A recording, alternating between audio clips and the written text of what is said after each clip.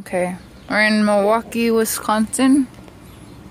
And we're about to try some local cheeses. You hungry for some local cheeses? Um, no. well, too bad. Pick one out. Too bad. Too bad. You gotta eat. I'm It's dairy time. All right. Well, hurry up then. Just take the damn cheese. This is the Master Cheesemaker Lacy Swiss cheese. Does that mean it's from Switzerland? I think it's from. Wait, what are Switzerland people called? Swiss people. Ooh. Swiss people in Well, that's how it came about, right? That looks weird, Swiss people came over here yeah, did their it's got weird tiny holes. So cute. Okay, try it. It should be uh, way better than any other cheese, right? Is it the best cheese? It should be. We paid like seven twenty-five a pound for it. I don't really like Swiss cheese. though. Why did we pay seven twenty-five a pound for it? I thought you might like it. Well, well, how is it then? Is it okay? It's like Swiss cheese. Oh. oh. Well then. well, try the next one. Colby loaf. I don't know what Colby is. Is that American for Is that American? Red Leicester or something? I don't know. Don't ask me. I'm not a cheese expert. You put the taste of the Swiss away.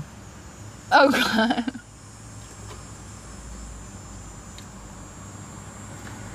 Good? Good. what we got left? Oh, you go. Alright. I guess I'll do the other ones. Yep. Wait, which one first? No, your pick. Hmm.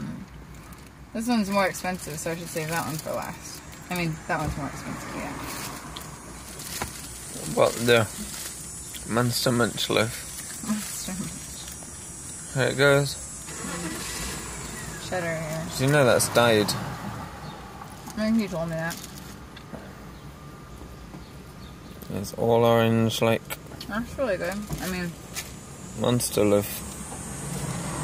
I'm not sure it tastes much different from normal cheddar cheese. I don't Right. make a point of eating cheddar cheese on its own usually, but And That was really that good. that was really good cheddar cheese though. Good cheddar cheese. Yeah. Not very nice. The master cheesemaker. So, uh, what's the cheapest one too? Yeah. That Wisconsin seems to cheese. happen, huh? Wisconsin cheese. Ah, there we go. Wisconsin cheese. This one smells like milk. Like, like, no, it smells like half and half. Maybe it's like goat cheese.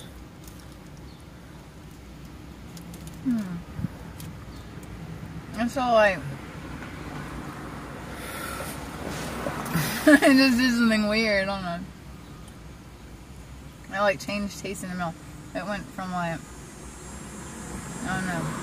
Put some soft, creamy thing, and then all of a sudden it was like weird. Like. Not like blue cheese, but weird. This one's weird. And there you have it. Wisconsin cheese with. Alright, that's one of the best. Okay, now that one's good. That's the cheapest one, I think.